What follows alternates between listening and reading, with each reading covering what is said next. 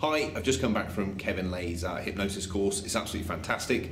Um, I've previously trained on a hypnosis course before and was fairly familiar with a lot of the processes, but he recovered all the basics, went into a lot of advanced stuff, and did some great fun stuff too. So, definite go, definitely.